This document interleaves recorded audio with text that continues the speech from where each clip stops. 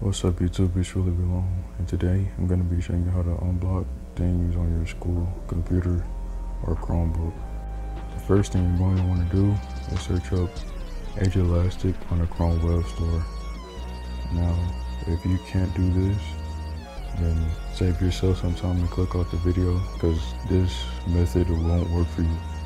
So, assuming that you could actually get Edulastic on your school computer or Chromebook or whatever it is, when you find it, the first thing you want to do is like install it, but mine says launch app, so I need to install it.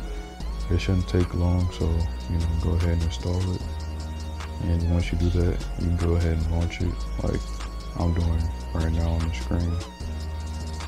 Now, actually, before I show you like this little Edulastic trick, there's actually another trick you can do in case your teacher is coming could like instantly switch like your uh, tabs. You would just press Alt and then immediately press tab and then it should like switch your tabs like back. So you do that and you see the teacher coming and basically she, she won't be able to see you up and do that because you know it's not on the screen anymore. It's like a split second thing. Or you can press a little window thing on the Chromebook like right above the, was that the five I think? Yeah, just do that and you have the ability to switch them too. So I would also look into that because it's way harder to get caught doing that.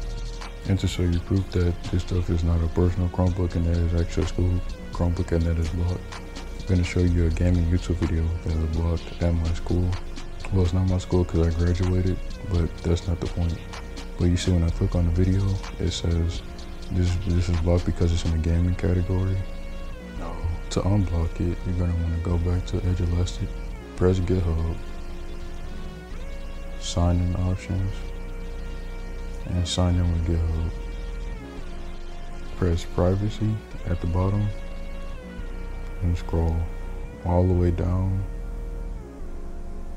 and then go to about at the bottom right. Then you click on the little YouTube icon. Now I know that it's going to be a lot for you because I'm, I doubt you've done this, but rewatch the video a couple times and you'll get used to it. Trust me, after you do it like 10 times, it's like, you know, basically muscle memory. And that's the video that was blocked on like the regular school thing. I just kept the ad to show you that it's like no longer blocked and I could freely watch it and other things. And also I'm gonna put like steps in the description so you don't have to like keep watching. You could just screenshot the steps and it could save you some time. But now I'm gonna show you something else you could do with Elastic because not only does it unblock YouTube, it unblocks everything. And to unblock everything or get unblock Google, you press the three lines by the YouTube icon. And hold on, the flirt glares in the way, so I'm gonna get that out the way. So yeah, you would do that, then press about right there, and then scroll all the way down again. And then, well, just let me get the glare out of the way first. But after I do that, I press privacy. Yeah, and then you go to privacy. And then you scroll all the way down again one more time, because I know that's repetitive, but at least it works. And you press Google, the bottom left corner. And there you go, Google Unblocked. And to show you proof that it's unblocked, I'm gonna actually go to the free anime website that I've been using recently. I really like it. So yeah, we just go to that. I'm gonna type in something. Actually, hold on, let me show you that it's blocked first. So proof that, you know, it's actually blocked. See, blocked by the school. Go back, alt tab, and then I'm gonna just search up anime I've been watching recently. I actually finished it.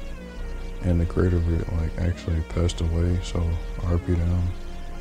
It was probably like my top three favorite anime. But y'all aren't here for that. So the downside with this like uh unblock Google Edulastic thing is that you can't really go full screen.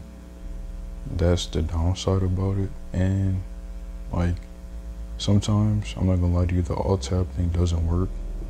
So one thing you can do to like make sure you can't get in trouble is press control W and just like it instantly closes the tab. Oh I think I'm, I'm gonna do it right now. See, Control W, it instantly closes the tab. So that way, as a last resort for all tab not working, just press Control W and just instantly closes it. And if your teachers use GoGuardian or anything like that, since Edulastic is like in a different like kind of tab, not related to Google technically, you can't they can't even see that too. And if you don't know what Go GoGuardian is, it's like a thing where the teacher can see everything you're doing on your computer through her screen from a school add-on. Yeah, that's basically it. If you have any questions, comment down below. If you actually like the video and helped you, like the video, and I'll see you on the next one.